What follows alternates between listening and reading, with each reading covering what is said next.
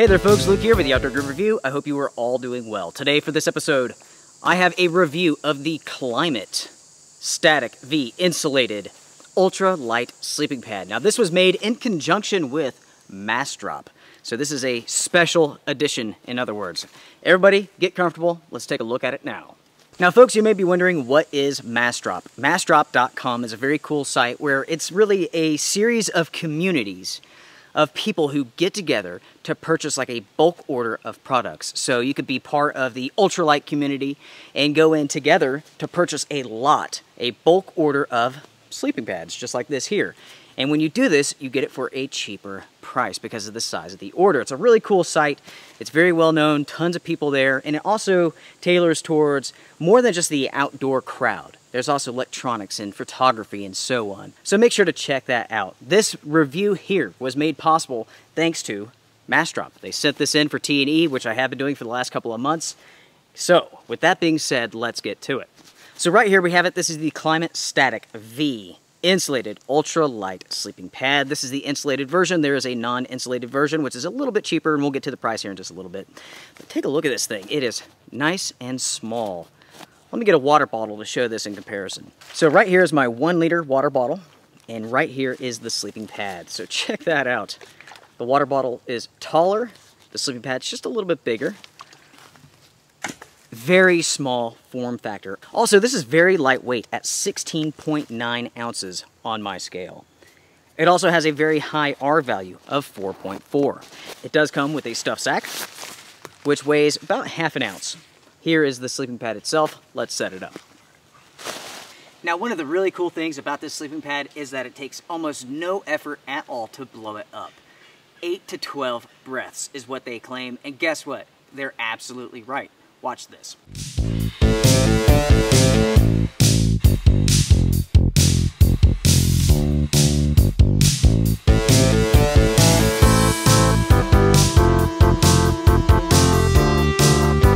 There you go, all blowed up, nine breaths.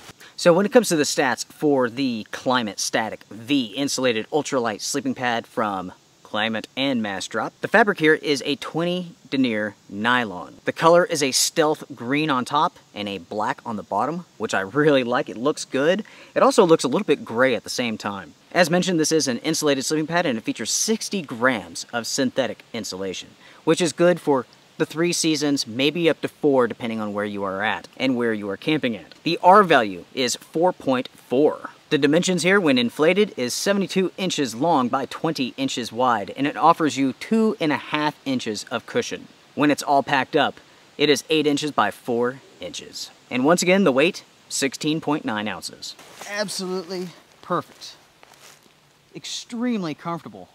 Now with this sleeping pad here, as mentioned, it is 72 inches long and it is 20 inches wide, which means it's a good size, but it's not huge by any means. So if you are a really big individual, this may not be the sleeping pad for you. For most people, it will work just fine. This is based upon the original Klymit uh, Static V design, which is really well known, one size fits all, and this is a very popular pad for many reasons. All right, well, we've talked about this pad, we've gone over the stats, let's move to the review portion. I've been testing this out for a couple of months now, and I've used it for roughly 15 nights. And I have to say that I'm very impressed with it, especially for the price. The price is absolutely phenomenal with this sleeping pad. When this pad goes on sale in a couple of days, you will find more information at the link down in the description box. It will sell for $60 for the insulated version, $50 for the non-insulated version, and that price is very impressive. When it comes to three season to four season sleeping pads, I mean, gosh, you're looking to spend at least double, even more so in a lot of cases. So for this price, you are getting one heck of an awesome sleeping pad. Trust me on that. Over the nights that I've used this, about 14 nights, about the coldest temperatures we got, because it is still summertime, was about 48 degrees. At 48 degrees, still comfortable. I will do a follow-up long-term review with this sleeping pad and let you know how it performs when it gets cold. But we have some time before that happens, so I can only base my review on the conditions that I have right here in North Carolina. So there you go. Now, based upon other reviews, which I've seen for the original Klymit Static V insulated sleeping pad, which you can find, the other model, which this is based upon, people use the sleeping pad into the third season, to the fourth season with no issues at all, and I don't expect there to be any issues when it comes to cold. One thing that I really like about this sleeping pad are these baffles. Very, very nice. Uh, also, there's no noise when moving around on this, very minimal. Some sleeping pads sound like crackers, like you're laying on a bag of chips or something. Not here. I love the side baffles. They do a good job of kind of hugging your body when you're laying on this, and that keeps you centered in the middle of the pad itself. This is a very stable sleeping pad. Never did I feel like I was gonna roll to one side or the other. No issues with air leaking at all, no issues with durability. I do have to say this though, I am very delicate and very careful with my gear. I always throw down a piece of plastic if I'm sleeping out underneath the stars. I just make sure to pay attention to what I'm doing. With that being said, no issues with durability at all. Very impressive. Most of the time I use this in my tent. I did happen to throw this into a hammock and it was very comfortable, to be honest with you. I enjoyed using it. Now, when it comes to the pros and cons, let's talk about those right now. First pro, lightweight, extremely lightweight. Small footprint, it's a small size, but yet it can handle someone who's much bigger. Extremely easy to blow up. Very, very easy. Literally, nine breaths with these old lungs here, blew it up fully. Very impressive. With most sleeping pads, you blow, you blow, you blow, and then you want to pass out, right? You know what I'm talking about. Very good warmth, as far as I could tell right now in the summertime. Definitely stayed warm. Sometimes I would just use a fleece blanket with this sleeping pad and I would be very comfortable. You have the heat from the pad bouncing back, you have the blanket, perfect. Stare at the sky, the stars all night long, thumbs up, right? Another pro is the lifetime warranty. That is awesome. Additional pro, as I mentioned, the baffles here on the side do a good job of keeping you in the middle of this sleeping pad. Also, the thickness here is adequate. Two and a half inches, I never had any issues with being uncomfortable with any bones pushing into the ground, anything like that. Thumbs up. With that being said, this is not the, moving to the cons, this is not the thickest sleeping pad out there. There are definitely thicker pads that are heavier out there, which will give you even more cushion. Moving on to the next con, the baffles here. This is a slight con, really, just something that needs to be mentioned. You feel them when you're laying on this. You will definitely sense it, especially when you inflate this to the max. What I've learned is if you let a little bit of air out, it kind of smooths out. It gets a little bit more comfortable. Something to try, right? But yeah, with the design of the baffles, you feel them more than you do on other sleeping pads. The next con deals here with the deflation inflation valve. In regards to deflating the sleeping pad, it takes a while to do so. It's not the quickest out there. As soon as you open the valve, you will have to squeeze all the air out and then fold it up, roll it up, put it in the stuff sack. It takes a little bit of time, which I will show you right now.